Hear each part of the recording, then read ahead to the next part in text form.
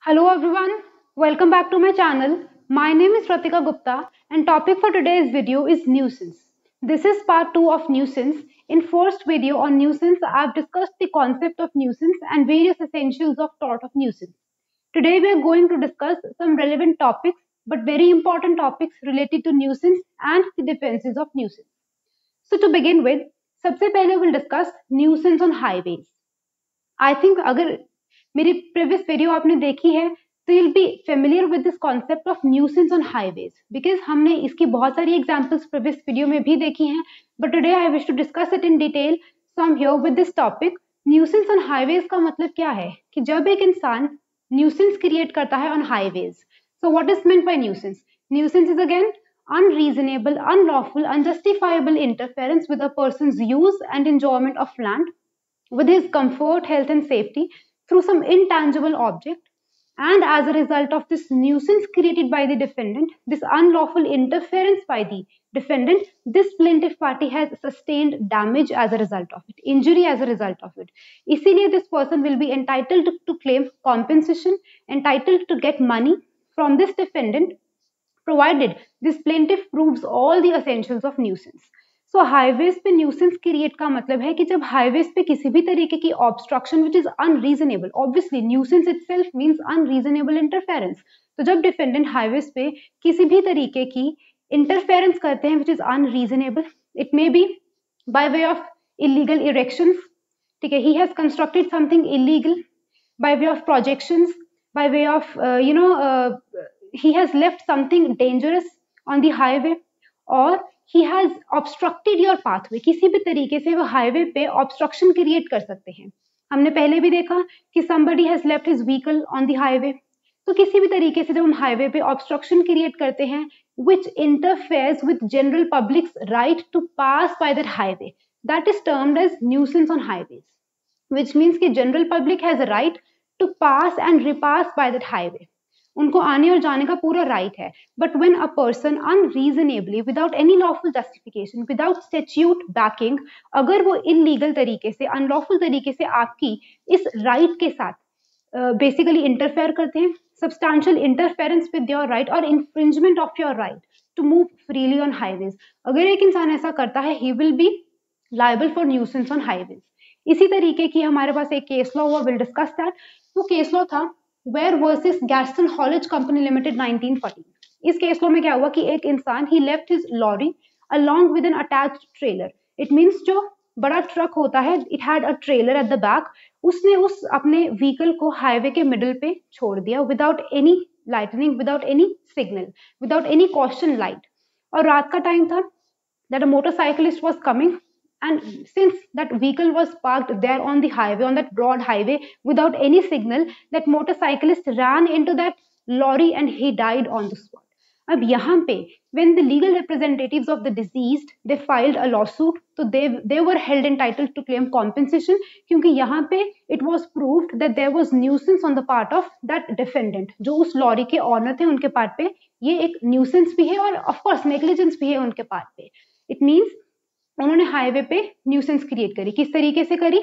अपना कोई भी व्हीकल वहाँ पे छोड़ दिया। अब हाईवे पे न्यूसेंस किसी भी तरीके से हो सकती है। Somebody has left some dangerous और slippery material on the highway या कोई ऐसी ट्रेंचेस को डग कर दिया। He dug a trench without any lawful you know justification without any statute backing तो वहाँ पे he will be held liable for nuisance on highways so you getting it what is meant by nuisance on highways अब इसका एक point हम उठाएँगे which is illegal projections अब यहाँ पे क्या होता है, कई बार क्या है कि हाईवे की एडजेसेंट हाईवे हाईवे के बिल्कुल एडजेसेंट कोई ना कोई प्रॉपर्टी होती है एंड ऑब्वियसली उस प्रॉपर्टी की पोजेशन में कोई होगा या उस प्रॉपर्टी का ऑनर कोई होगा। अब क्या होता है कि कई बार प्रोजेक्शन जो है वो लगाई जाती है। प्रोजेक्शन का मतलब है, जैसे आप देखते हो हाईवे पे देर आर साइन बोर्ड ठीक है? साइन बोर्ड होते हैं बैनर्स लगा दिए जाते हैं क्लॉक टार्स होते हैं। तो अलग अलग तरीके की प्रोजेक्शन है। There may be trees protruding branches of those trees may cause damage to somebody तो इनको हम बोलते हैं प्रोजेक्शन तो कोर्ट कहते हैं कि हम example I give you an example suppose highway के एडजेसेंट प्रॉपर्टी पे एक ट्री था, उसकी एक प्रोट्रूडिंग ब्रांचेस थी, काफ़ी ओल्ड था वो tree and as a result of you know that tree being old उसकी जो ब्रांचेस थी, वो टूट के प्लेंटिफ पे गिर जाती है. Plaintiff was on the highway he was going in his car as a result of it उसकी कार को भी डैमेज हुआ himself got injuries and a lot many people जो उसके साथ कार में थे of them died and a lot many people sustained injuries. So let us take an example.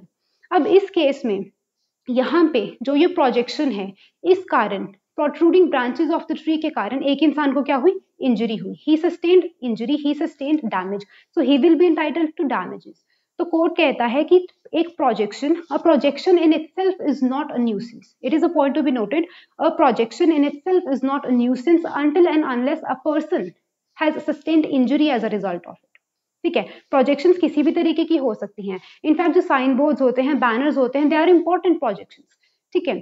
तो कोर्ट कहता है कि प्रोजेक्शन अपने आप में कभी भी इलीगल नहीं होती हैं। अनटिल एंड अनलेस एक इंसान को डैमेज सस्टेन नहीं होता। अब जो मैंने आपको एग्ज़ाम्पल बताई, वहाँ पे एक इंसान को डैमेज सस्टेन हुआ as a result of that projection the protruding branches of a tree so he is entitled to claim compensation but court कहता है कि अगर एक इंसान को a person has a right to pass by the highway आपके पास हर एक हर एक इंसान के पास जनरल पब्लिक के पास एक राइट right होता है कि you can move freely by that highway and as long as that right of yours is not interfere with as long as that right is not infringed you are not entitled to compensation. Court कहते हैं कि a person should not be worried about what is above that person और what is beneath him ऊपर या नीचे क्या है, उसको फ़र्क नहीं होना चाहिए as long as he is able to enjoy his right to pass by that highway ठीक है? अगर हम इसी तरीके से प्रोजेक्शंस को मानने लग गए कि ये तो प्रोजेक्शंस हैं तो एक न्यूसेंस है तो अदरवाइज़ हर एक प्रोजेक्शन अपने आप में इलीगल प्रोजेक्शन हो जाएगी। तो कोर्ट कहता है कि projections are not illegal in itself जब तक आपको डैमेज सस्टेन नहीं होता इंजरी नहीं होती, तब तक आप केस फ़ाइल नहीं कर सकते हो because projection in it is not nuisance अब इस चीज़ को डिस्कस करने के लिए हम दो केस लॉस को डिस्कस करेंगे जो आपको इस पॉइंट को बहुत इजीली समझाएँगे. Let us take an example of a tree जो मैंने आपको पहले बताया. अब ट्री है, ठीक है? अब वो ट्री अगर गिरता है किसी इंसान पे प्रीवियस एग्ज़ाम्पल में वो ट्री एक इंसान पे गिरा, उसकी कार को भी डैमेज हुआ he also sustain injury as a result of it वहाँ पे that person will be entitled to claim compensation but इसका एक और पर्सपेक्टिव है जो कोर्ट ने देखा। अब मैं वो डिस्कस करना चाहती हूँ which is Caminer versus northern and London investment transport limited 1951 इस केस में भी क्या हुआ कि हाईवे के एडजेंट जो प्रॉपर्टी थी, वहाँ पे जो उसके प्रॉपर्टी के ऑनर थे, वो वहाँ रहते थे। बट उस प्रॉपर्टी में एक नेचुरल ट्री था। It's a point to be noted कि वो ट्री एक नेचुरल प्रोजेक्शन थी। अब वो ट्री एक दिन ऑल ऑफ़ सडन उसकी ब्रांचेस जो है, वो हाईवे पे गिरती हैं और हाईवे पे जो भी इंसान was going that person sustained injury अब केस लॉ के फैक्ट काफ़ी सिमिलर है to the example which are given but यहाँ पे, पिछले एग्ज़ाम्पल में that person will be entitled to claim compensation but इस केस लॉ में ऐसा क्या हुआ that this person was not entitled to claim any compensation इसका रीजन ये था कि जो ट्री था, पहली बात तो वो एक नेचुरल प्रोजेक्शन थी। ठीक है? उसको लगाया नहीं था, उस ऑनर ने वो नेचुरल प्रोजेक्शन थी। दूसरी बात, जब इन्वेस्टिगेशन के टाइम पे फाइंड आउट किया गया तो ये पता लगा कि दिस एल्म ट्री ट्री का नेम है elm tree that tree is 130 years old बहुत ही पुराना ट्री है. Moreover this tree is suffering from a disease which is elm butt rot it's a disease suffered by that tree but since एक tree को जो भी you know tree को जो डिजीजेस होते हैं that is not something which is inferable by a layman ordinary prudent man को तो नहीं पता कि ट्रीज को क्या प्रॉब्लम है?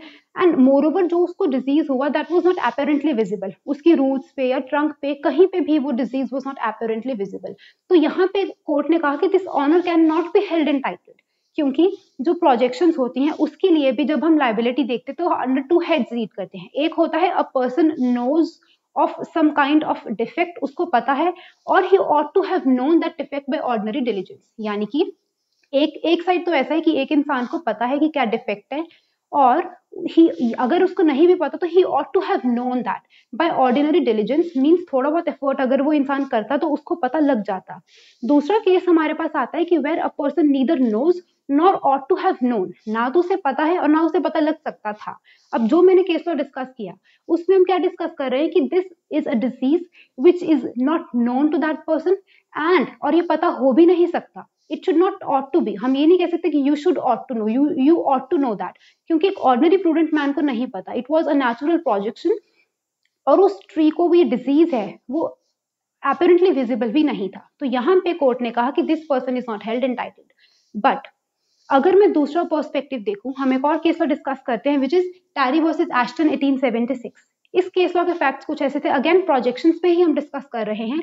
इसमें क्या था कि एक इंसान का जो घर था उसके बिल्कुल साइड से एक रोडवे जाती थी। Now people have right to pass by that road ऐसे ही एक प्लेंटिव उस रोड से निकल रहे थे। और जो डिफेंडेंट का हाउस था। वहाँ पे एक उन्होंने एक बहुत ही लार्ज लैम्प इरेक्ट करवाया था। लैम्प को इरेक्ट करवाया बाय एन इंडिपेंडेंट कॉन्ट्रैक्टर एक इंसान को बुलाया और लैम्प लगवा दिया। अब हुआ क्या? उससे पता था कि जो लैम्प है, वो एक काफ़ी उसमें डिफेक्ट है, यानी कि जिस रॉड से आयरन रॉड से उस लैम्प को इरेक्ट करवाया गया था, वो आयरन रॉड काफ़ी जो है वो रस्ट हो चुकी थी। रस्टिंग ऑफ़ आयरन हो चुकी थी as a result of it वो रॉड बहुत वीक हो चुकी थी और लैम्प कभी भी गिर सकता था। अब जो डिफेंडेंट थे, उनको ये पता था और इसीलिए उन्होंने एक इंडिपेंडेंट कॉन्ट्रैक्टर को बुलाया for repairing and maintenance of that lamp उन्होंने कहा, इसे रिपेयर कर दो। बट वॉट हैपेंड इज़ जिस दिन ये इंसिडेंट हुआ, वो लैम्प प्लेंटिफ के ऊपर गिरा। उससे एक महीना पहले ही उन्होंने रिपेयर और मेंटेनेंस करवाई थी। तो जब प्लेंटिफ ने केस फ़ाइल किया फॉर कॉम्पेंसेशन तो यहाँ पे जो डिफेंडेंट है, उन्होंने डिफेंस अवेल किया कि I you know have taken due care मेरे पार्ट पे कोई नेग्लिजेंस या न्यूसेंस नहीं थी।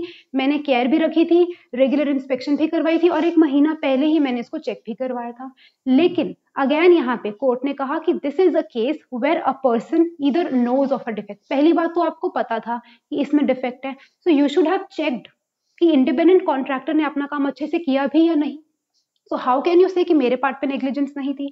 आपने इंडिपेंडेंट कॉन्ट्रैक्टर को बुलाया। That is not where your work is all over you have to look into the matter कि क्या इंडिपेंडेंट कॉन्ट्रैक्टर ने अच्छे से वो काम कर दिया। It means there was negligence clear cut negligence on your part इसीलिए you are held entitled to pay compensation to the plaintiff तो जब हम इलीगल प्रोजेक्शन की बात करते हैं do not get confuse court has to look into every material fact कोई hard and fast rule नहीं रहता लॉ में. It depends from fact to fact depend करता है कि क्या वर्डिक्ट आएगा एक केस लॉ का. तो यहाँ पे मैं आपको ट्रीज की ही दो एग्ज़ाम्पल दे चुकी हूँ, जहाँ पे वर्डिक्ट डिफरेंट है. तो उसका रीजन क्या है कि एक जगह अ पर्सन नोज़ और ought to have known by ordinary diligence by some efforts और दूसरी जगह a person neither knows nor ought to have known उसे पता भी नहीं लग सकता। जैसे एल्म ट्री की हमने example Lee. An ordinary prudent man can not find out वो अपेरेंटली विजिबल ही नहीं है तो उसे नहीं पता लग सकता। So are you getting it कि किस तरीके से प्रोजेक्शन का ये केस लॉज वर्क करते हैं? Next we move on to a very important topic वो टॉपिक रहता है प्रॉपर्टी पे nuisance to in incorporeal property if you remember कल हमने असेंशियल्स डिस्कस करे थे ऑफ़ न्यूसेंस उसमें एक असेंशियल भी डिस्कस किया था हमने प्रॉपर्टी के प्रॉपर्टी के रिलेटेड राइट हमने कहा था कि जब एक इंसान को इंजरी होती है, एक इंसान की प्रॉपर्टी को that person can claim compensation तो आज का जो कॉन्सेप्ट है, वो उसी की थोड़ी सी इन डेप्थ स्टडी है which is nuisance to incorporeal property क्या रहता है?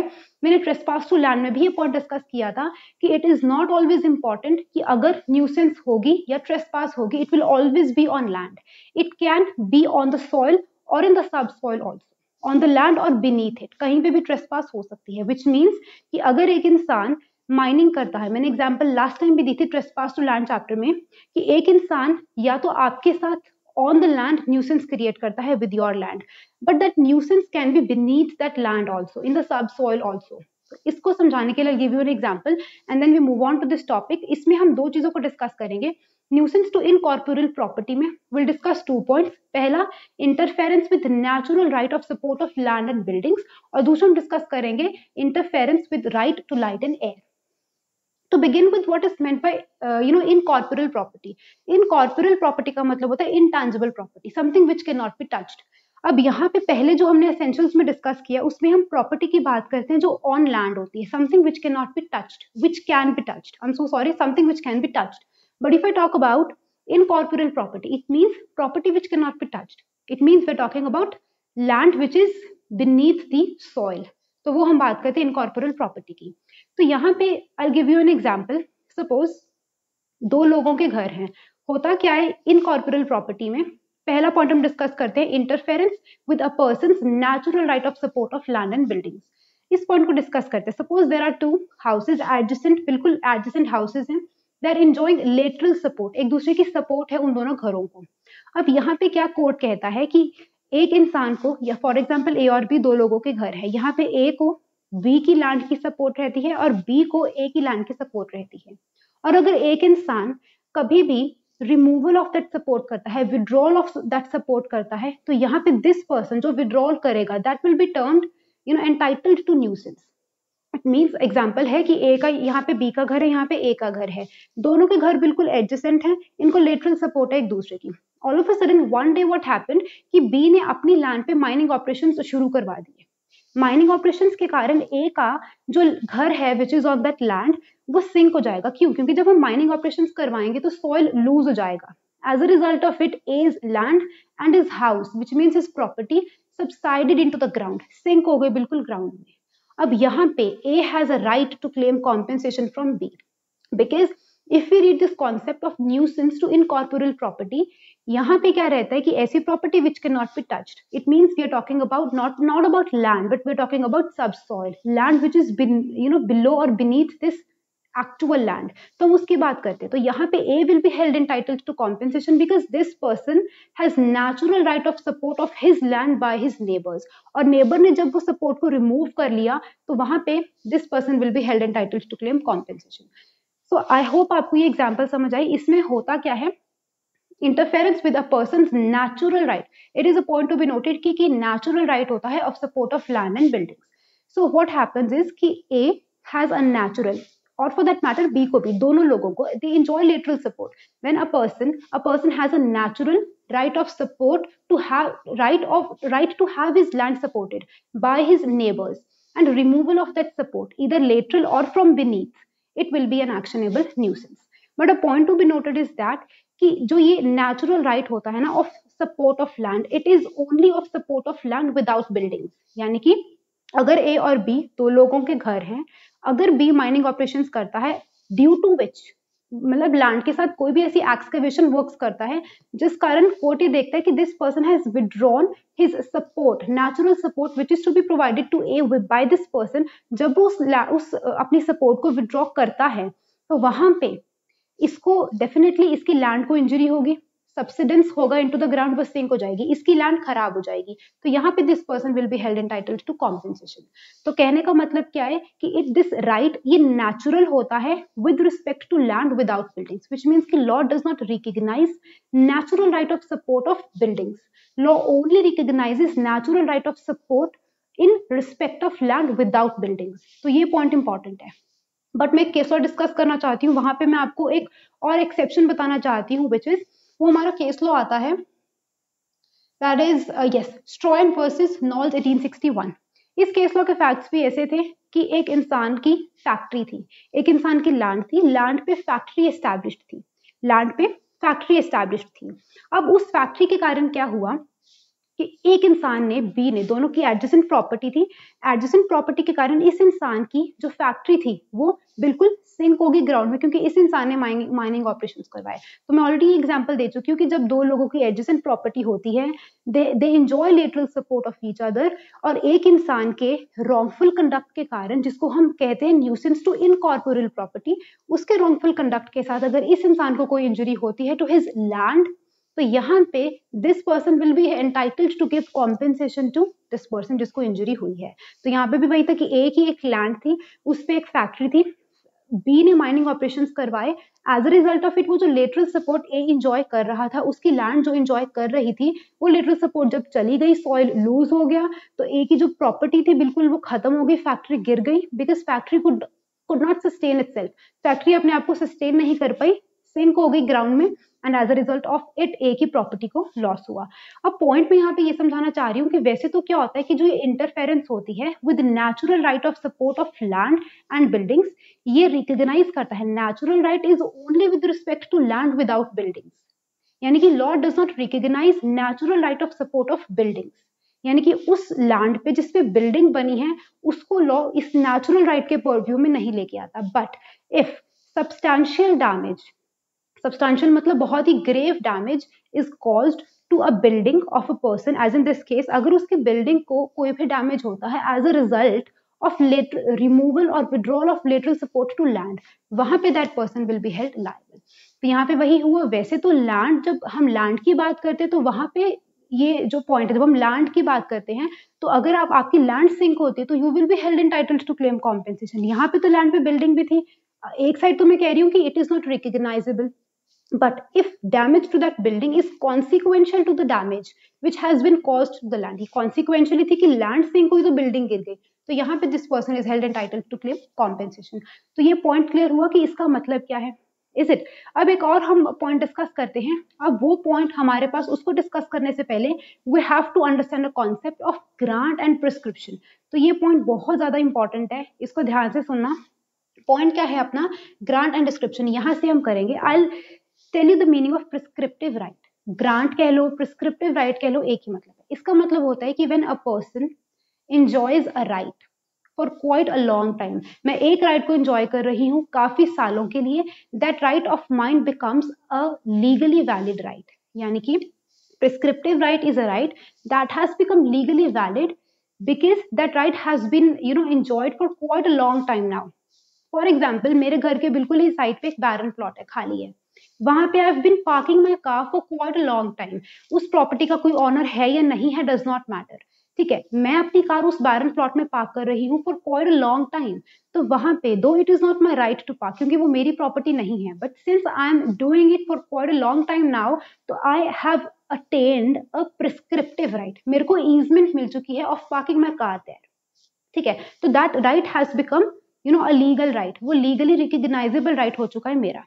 बट पॉइंट यहाँ पे क्या आता है कि what is a long time मैं कह रही हूँ ना for a long time so what are the modes and period of enjoyment of this right तो ये डिस्कस करना ज़रूरी है।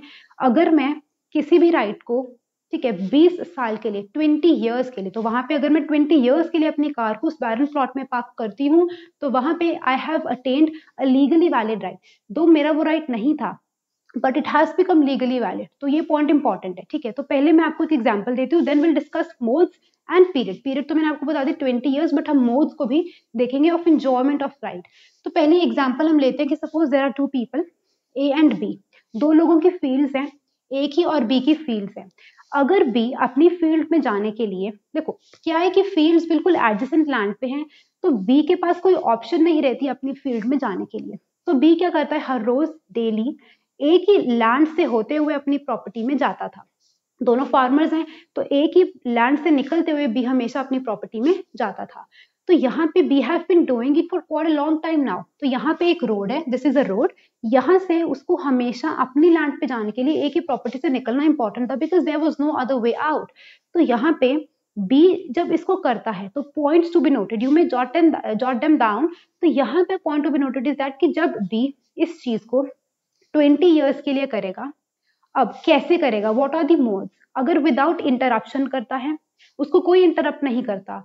ओपनली वो इस रास्ते से जाता है पीसेबली जाता है as a right and as of easement तो यहाँ पे that person will attain a prescriptive right of easement after twenty years which means कि जो बी है, वो ए की प्रॉपर्टी से निकलता है पीसेबली ए को पता है इस चीज़ का पीसेबली निकलता है ओपनली निकलता है मतलब he has you know he do not has to hide himself छुप के नहीं निकलता openly in front of every other person वो निकलता है पीसेबली जाता है without any violence is it और वो ओपनली जाता है पीसेबली जाता है without any interruption as of right and as of easement as of right मतलब he is not paying A A को वो कुछ पे नहीं करता उधर जाने के लिए, ना ही उसने ए की परमिशन ली है। बट ऐसे ही बस आप कह लो कि as you know a habit वो हर रोज उस लैंड से निकलता था और ए को भी कोई प्रॉब्लम नहीं होती थी। ओपनली जाता था पीसेबली जाता था विदाउट एनी इंटरप्शन जाता था। एज ऑफ़ राइट मीन्स उसने किसी की परमिशन भी नहीं ली थी and obviously he is not paying A for that उसको पैसा भी नहीं देता वहाँ से निकलने का। अगर वो इस चीज़ को ऐसे ही कंटिन्यूटी में रखे विद ऑल दीज मोड्स तो अगर वो 20 इयर्स के लिए करेगा this person will attain a prescriptive right इसको बोलते हैं प्रिस्क्रिप्टिव राइट या फिर easement by prescription by grant तो ये पॉइंट ध्यान में रखना। And I wish to tell you one more thing कि जो ये राइट right होता है, मैं बार बार बोल रही हूँ कि this right has become legally valid right तो जो ये राइट right है, वो कुछ भी हो सकता है। यानी कि इट मे बी अ वे और अ वाटर कोर्स यहाँ से तो भी वो रास्ता यूज़ कर रहा है। But it can be possible कि यहाँ पे कोई वेल हो। ठीक है, अपनी फ़ील्ड को इरिगेट करने के लिए he might use this well इस वेल को भी यूज़ करे। फिर इस रोड से क्रॉस होता हुआ एक ही फ़ील्ड से निकलता हो वो अपनी लैंड पे जाए। तो कहने का मतलब है कि ये जो राइट है it may be in respect of any way कोई रास्ता भी हो सकता है। एज इन दिस एग्ज़ाम्पल और अ वाटर कोर्स ठीक है इट मे बी लाइट और एयर ऑल्सो लाइट और एयर के कॉन्सेप्ट को हम आगे डिस्कस करने वाले हैं, इसीलिए I explain this point of prescriptive right और एक इंपॉर्टेंट पॉइंट ध्यान में रखना कि जो ये वाली लैंड होती है, इसको हम बोलते हैं servient land and this land is known as dominant land I have explain this terms because uh, while reading you might come across these words so i think you should know the meaning of dominant heritage and servient heritage ये जो land होती है which is enjoying easementary right यहाँ पे B की land को easementary right मिल चुका है easement by prescription मिल चुका है आफ्टर 20 years provided सारे मोड्स कंप्लीट होने चाहिए तो बी की लैंड को हम बोलेंगे डोमिनेंट हेरिटेज और ए की लैंड को बोला जाएगा servient heritage dominant heritage is that property which is enjoying easementary right is it तो अब यहाँ पे क्या रहता है, जो I move on to the previous point जहाँ पे हम डिस्कस कर रहे हैं natural right of support of land and buildings तो मैंने कहा था कि there is a natural right of support of land without buildings but अगर एक इंसान एक right of support of building acquire करना चाहता है ना, क्योंकि वो नेचुरल तो नहीं है it is only with respect to land without buildings तो अगर एक इंसान बिल्डिंग के विद रिस्पेक्ट एक राइट right अटेन करना चाहता है that can only be attained और अक्वायर्ड बाय ग्रांट और प्रिस्क्रिप्शन सो आई होप आपको पता है कि ग्रांट और प्रिस्क्रिप्शन का मतलब क्या है कि जब एक इंसान किसी भी राइट को 20 साल के लिए continuously without any interruption openly enjoy करता है as of right and as an easement तो इसको हम बोलते हैं प्रिस्क्रिप्टिव राइट तो इसको पॉइंट को एक्सप्लेन करने से पहले will discuss a case law which is Dalton versus Angus 1881 इस केस लॉ के फैक्ट्स ऐसे थे कि अगेन प्लेंटिफ और डिफेंडेंट की जो लैंड थी, वो एडजॉइनिंग थी। इन केसेस में जॉइनिंग लैंड भी होती हैं, तभी हम लेटरल सपोर्ट को डिस्कस करते हैं। प्लेंटिफ और डिफेंडेंट की, यानी कि ए और बी दो लोग ले लो, उनकी लैंड्स बिल्कुल एडजॉइनिंग लैंड्स थी और उनको, उनकी लैंड को एक दूसरे की लेटरल सपोर्ट थी। अब प्लेंटिफ ने क्या किया? अपनी लैंड को एक फैक्ट्री में कन्वर्ट कर लिया। Obviously factory needs a stronger lateral support उसे आगे से भी ज़्यादा लेटरल सपोर्ट की ज़रूरत थी। तो क्या हुआ कि प्लेंटिफ ने जो अपनी लैंड को फैक्ट्री में कन्वर्ट किया 20 साल हो चुके हैं 20 इयर्स हो चुके हैं और मोर ज़्यादा भी हो सकते हैं प्लेंटिफ को अपनी लैंड को फैक्ट्री में कन्वर्ट करे। अब ऑल ऑफ़ अ सडन 20 साल के बाद डिफेंडेंट ने क्या किया? अपनी लैंड को डिमोलिश कर दिया। उसने सोचा कि मैं यहाँ पे कुछ और बनाऊँगा। मे बी उसने माइनिंग ऑपरेशन शुरू कर दिए एक्सकेवेशन करवानी शुरू कर दी but he demolished his land अब फैक्ट्री को तो आगे से भी ज़्यादा स्ट्रॉगर लेटरल सपोर्ट की ज़रूरत है बट डिफेंडेंट ने क्या किया? जो सपोर्ट थी उसको भी डिमोलिश कर दिया। बट सिंस प्लेंटिफ को 20 इयर्स हो चुके थे अपनी फैक्ट्री को वहाँ पे एस्टेब्लिश करें। तो ही अब उस, जब उसने उस सपोर्ट को रिमूव किया इधर लेटरल और फ्रॉम बीनीथ तो क्या हुआ? इसकी जो लैंड थी वो क्या हो गई? सिंक हो गई। एंड एज अ रिज़ल्ट उसकी फैक्ट्री भी गिर गई बिकॉज़ सॉइल जब लूज हो जाएगा तो लैंड सिंक हो जाएगी। Subsidence of ground sinking of ground and as a result factory जो है वो गिर गई प्लेंटिफ की। तो यहाँ पे प्लेंटिफ ने फिर केस फ़ाइल किया। नाउ अब यहाँ पे पॉइंट हमारे पास क्या रहता है कि अगर आप राइट right अटेन करना चाहते हो विद रिस्पेक्ट टू बिल्डिंग तो वो प्रिस्क्रिप्टिव होना चाहिए। नेचुरल तो नहीं रहता, वो प्रिस्क्रिप्टिव होना चाहिए। नेचुरल में सिर्फ़ और सिर्फ़ अगर आपके लैंड को बिल्डिंग को डैमेज होता है which is consequential to the you know injury to your land तब आप केस फ़ाइल कर सकते हो, जैसे मैंने आपको पहला केस ये वाला डिस्कस किया था, ठीक है? यहाँ पे अब क्या हुआ, जब कोर्ट में केस किया तो कोर्ट ने कहा कि yes this person is entitled to claim compensation from the defendant जिसने अपनी लैंड को डिमोलिश किया। क्योंकि इस इंसान को 20 साल हो चुके थे, क्योंकि 20 इयर्स हो चुके थे, इसकी फैक्ट्री को यहाँ पे एस्टेब्लिश हुए। This person is acquired prescriptive right easement by prescription इसको मिल चुका है। अब यहाँ पे इसका राइट right हो चुका है। प्रिस्क्रिप्टिव राइट क्या होता है? Right that has become legally valid because you have been enjoying that right for quite a long time now. Long time is 20 years.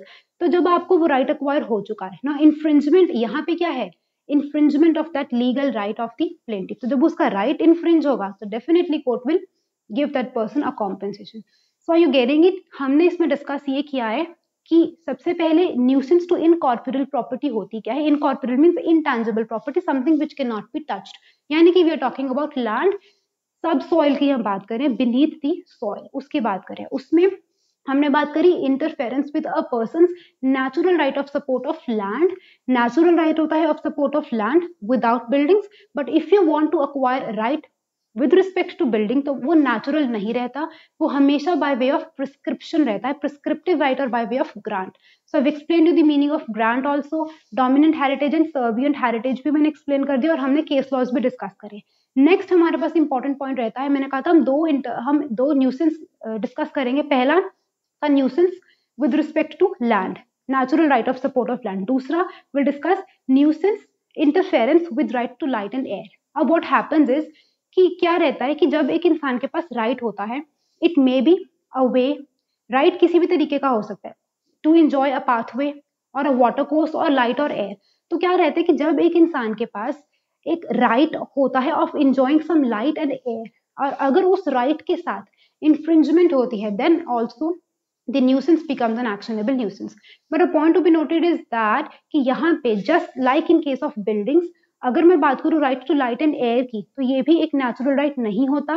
It has to be acquired by grant of prescription means कि अगर आप एक light को suppose आप एक यहाँ इस जगह में हो, बैठे हो and you have been enjoying light आप उस जगह से जो आपको लाइट आती है, कहीं से भी आपको किसी भी डायरेक्शन से अगर लाइट आती है इन यू नो एक डायरेक्ट चैनल से, ठीक है, एक कन्फाइंड चैनल से अगर आपको लाइट या एयर आती है वेंटिलेशन होती है, और उस चीज़ को ट्वेंटी ईयर्स से इंजॉय करते हो but all of a sudden कोई इंसान आता है and interfere with that right of yours वहाँ पे you can claim compensation it means कि right to light and air भी is not natural as if in the case of land but it is acquired by prescription और grant and once you have acquired it by way of grant and prescription which means कि बीस साल हो चुके हैं you have been enjoying that right and once you have acquired it it has become your legal right और एक बार वो आपका लीगल राइट बन चुका है so a substantial interference with that right और infringement of that right will become payable तो आपको कॉम्पेंसेशन जो है वो दे देगी दी डिफेंडेंट पार्टी अब यहाँ पे हम एक केस लॉ डिस्कस करते हैं विच इज़ बहुत इंपॉर्टेंट पॉइंट उसमें हम डिस्कस करेंगे।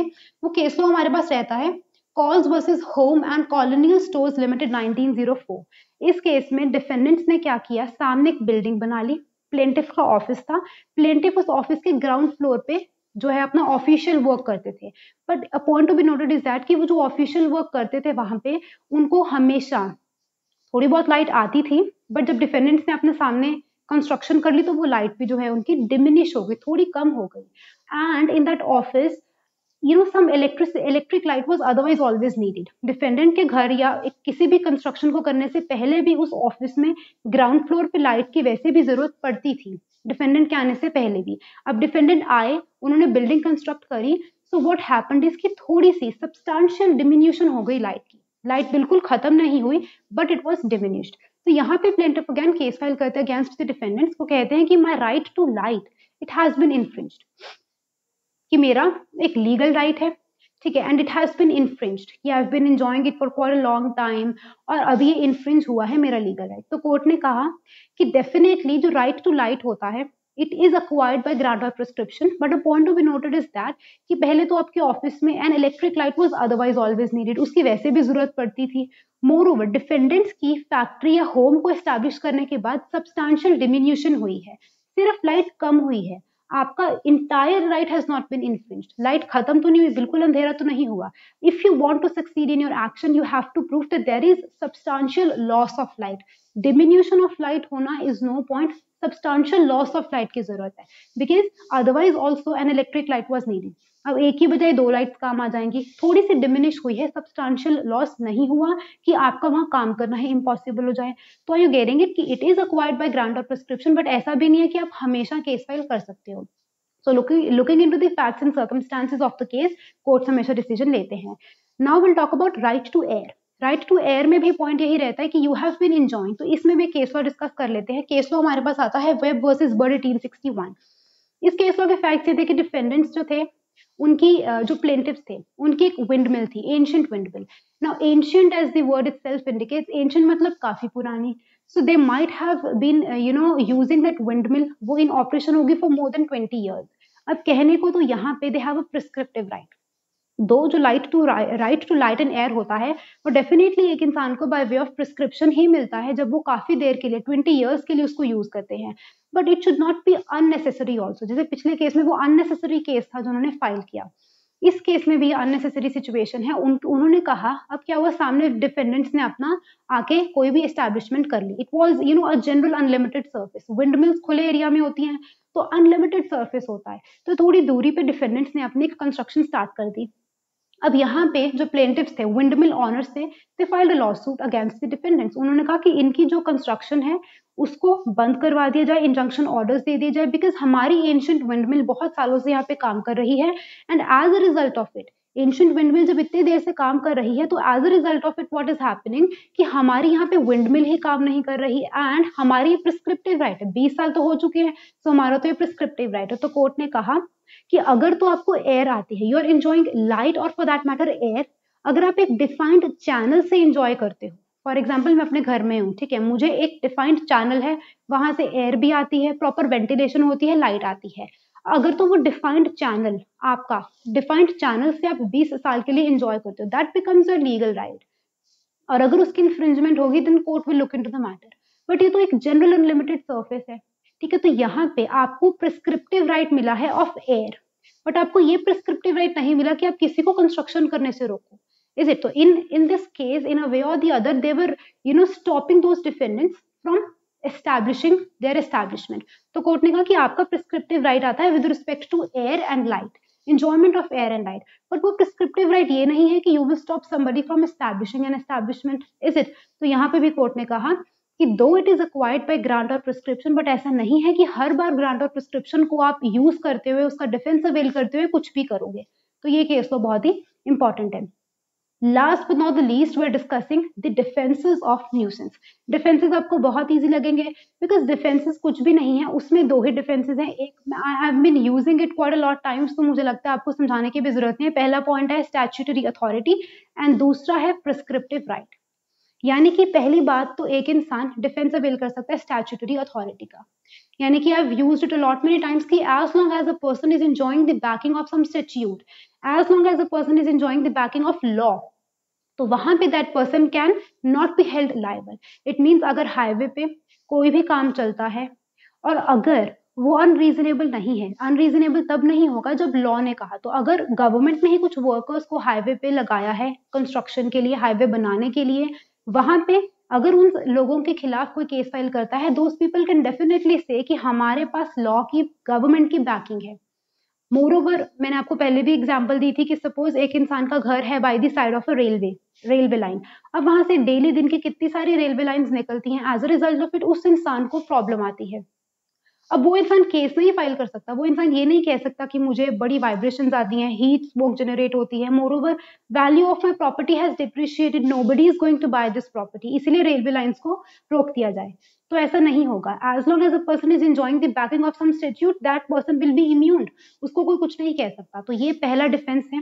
But a point to be noted is that ये पॉइंट मैंने जनरल डिफेंसेस के वीडियो में भी कवर करवाया था स्टैचुटरी अथॉरिटी डिफेंस में। कि स्टैचुटरी अथॉरिटी का भी डिफेंस आप तब तक अवेल कर सकते हो जब तक there is no negligence on your part railway construction जो रेलवे लाइन वर्कर्स हैं, उनके पार्ट पे या जो हाईवे पे कंस्ट्रक्शन कर रहे हैं फॉर दैट मैटर कोई भी एग्जांपल ले लो, वहाँ पे there should be no chance of negligence on their part अगर उनके पार्ट पे नेग्लिजेंस है then they will be held liable negligence नहीं होगी तो दे आर इम्यून तो उनको कोई भी जो प्लेंटी पे वो केस फ़ाइल नहीं कर सकता। नेक्स्ट इंपॉर्टेंट कॉन्सेप्ट हमारे पास आता है प्रिस्क्रिप्टिव राइट का। तो वो मैं ऑलरेडी एक्सप्लेन कर चुकी हूँ। अभी जस्ट हमने थोड़ा टाइम लगा के इसको डिस्कस किया कि प्रिस्क्रिप्टिव राइट होता क्या है। इट मीन्स जब एक इंसान 20 साल के लिए किसी भी चीज़ को इंजॉय करता है मोड्स भी हैं without interruption without any violence as of right अगर आप इंजॉय करते हो तो आपको प्रिस्क्रिप्टिव राइट मिल जाता है। It means what is otherwise a nuisance can become a legal right of yours provided वो प्रिस्क्रिप्टिव राइट हो। यानी कि हम एग्ज़ाम्पल लेते कि suppose I am parking my car on a barren plot जो मेरे घर के बिल्कुल साथ में है। अपने आप में तो ये न्यूसेंस है। बट अगर मैं 20 साल के लिए करती हूँ, मुझे कोई रोकता भी नहीं है। इट मीन्स यहाँ पे क्या हो रहा है कि मैं अपने इस राइट right को लीगल राइट right में कन्वर्ट कर रही हूँ। तो something some act which is otherwise a nuisance it will be immuned वो न्यूसेंस नहीं रहेगी once that right has become legalized because मुझे क्या मिल चुकी है? ईजमेंट बाय प्रिस्क्रिप्शन मिल चुकी है। सो so, यही इंपॉर्टेंट पॉइंट है कि मैं डिफेंस अवेल कर सकती हूँ या तो स्टैचुटरी अथॉरिटी का एक इंसान डिफेंस अवेल कर सकते हैं या फिर एक इंसान डिफेंस अवेल कर सकता है प्रिस्क्रिप्टिव राइट का। जो मैंने यहाँ पे बताया कि ये मेरा प्रिस्क्रिप्टिव राइट है। और अगर इन एक्चुअल वो प्रिस्क्रिप्टिव राइट होगा looking at all the material facts अगर वो कोर्ट को लगेगा कि वो प्रिस्क्रिप्टिव जेन्युइनली प्रिस्क्रिप्टिव राइट है तो इस इंसान को वो डिफेंस अवेल हो जाएगा and he will be held entitled to claim compensation जो हमने डिस्कस किया था अभी Dalton case Dalton versus Angus eighteen eighty one आप इस केस लॉ को यूज़ कर सकते हो। यहाँ पे वही था कि उसकी फैक्ट्री थी, बीस साल के लिए ऑपरेट हो रही थी तो this person has to pay compensation to this person because he this defendant has removed lateral support ठीक है ना which is being provided to his factory वो प्रिस्क्रिप्टिव राइट है तो आप इस केस लॉ को यूज़ कर सकते हो। So we are finished with this chapter of nuisance. Thank you so much guys. Do like, share, comment and subscribe to my channel. Thank you.